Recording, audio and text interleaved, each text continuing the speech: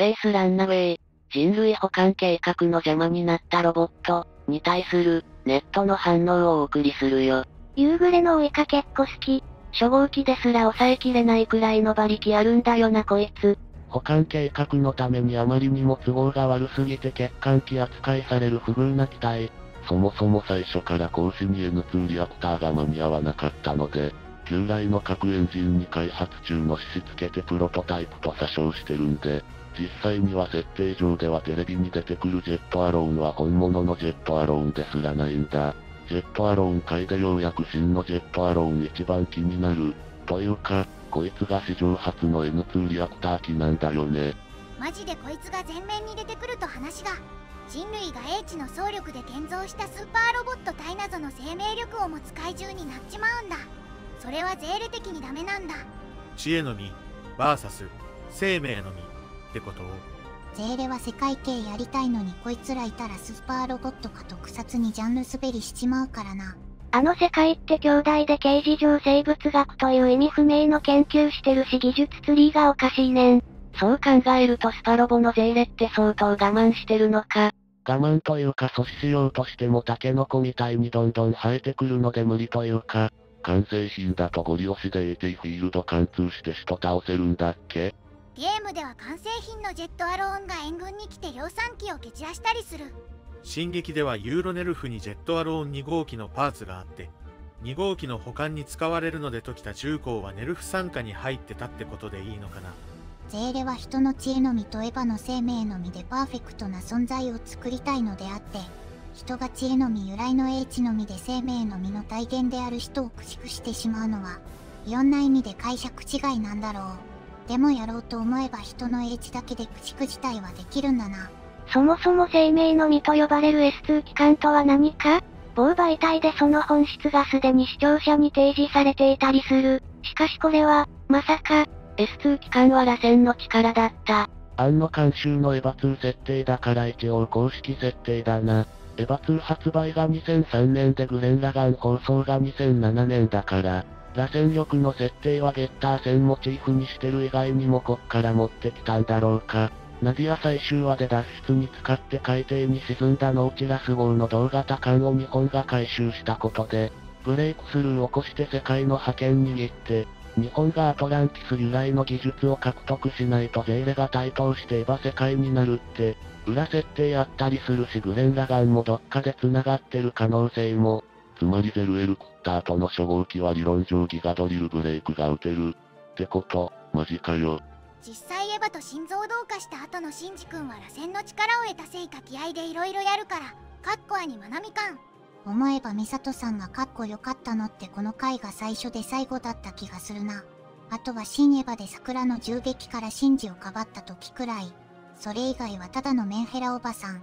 少し前まで精神ガチ闇の失語症だった割には頑張ってると思うよ。そんな奴が言葉が重要な役職に就くな。休むか作業事務にしろ。まともな指揮官に、少年兵でしか動かせないロボで敵を倒せ。なお訓練はしてないしたまにロボは暴走する。そして敵も毎回こっちの攻撃を学習してくるから同じ手段は使えんぞ。なんて命令こなせるか？必要なのは人への復讐心と憎悪を酒で押し殺して信じたちの尊毛も許容できるミサトさんだ。上から下までメンタルケア必要な人材しかいねえな。冬月と青葉はちょっとまともよりだけど。そもそもミサトさんは作戦立てるのが仕事で体張るのは主任務じゃないので、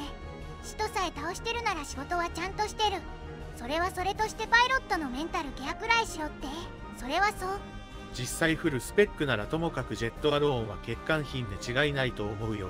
よく作れたなとはなった。素体があるエヴァと違ってジェットアローンはこのデカさを純粋な高揚力だけで作っているからな。技術力が高いエヴァの世界でも何気にトップクラスの代物だと思う。SS とかだとフィールド内から格闘とか不可能なので危険な動力炉を活かしたエヴァの携帯電池扱いのが多いな。実は N2 リアクター搭載してる機体は赤力浮遊力場とそれを応用した防護シールドを発生させられる。だからゲーム中でジェットアローン海外 AT フィールド持ちの人と殴り合ってるわけなんですね。あとこいつがあれば一般航空機にも陽電子砲を普通の武器として装備できる。N2 リアクターやべえ。ジェットアローン海を見るに、このまま完成させたらヤバそうだからゼーレが潰した疑惑まで出てるよねこいつエヴァ以外もこの世界のロボはこの体型が主流なんだなそうでもないちなみに変形して飛ぶ。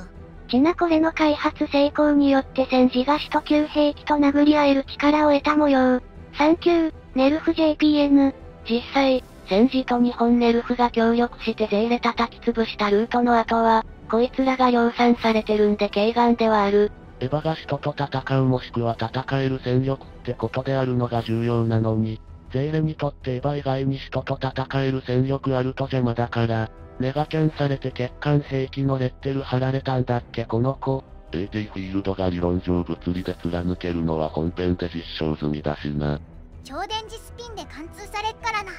大質量を高速でぶつければおだぶつよエヴァ世界はゼーレのせいで人類側でバフされてるんだよね。エヴァなんて人型にして無駄にコストを上げていてガチガチで大使と戦するなら、エヴァ自体使うよりその技術で通常兵器強化した方がいけるらしいし。人類の文明で人に対抗できちゃうとゼーレはかなり困るんだよね。しかもネルフの予算が日本中科学共同体に流れる。ゲームのエヴァ2の時田さんが意地と執念で完成させたジェットアローン回大好き。真面目に考えると一体どうやったのかは相当謎ではある。AT フィールドの突破も時間の問題って言い切るくらいには開発予定が進んでたんだよね。実際 N2 リアクターが間に合わなかったので、従来路線にしプロトタイプ出してごまかした結果が本編のありさまなだけで、そこがクリアされた本物のジェットアローンである回は、あっさり AT フィールドをハンマーで物理突破して攻撃加えてるからね。エヴァの最大武器がオカルト槍だからそれと対になる物理特化の筋か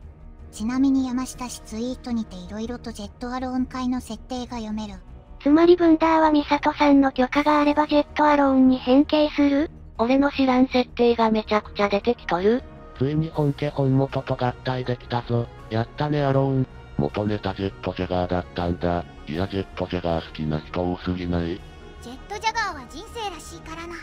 きちんとした映像作品での活躍を見てみたいわ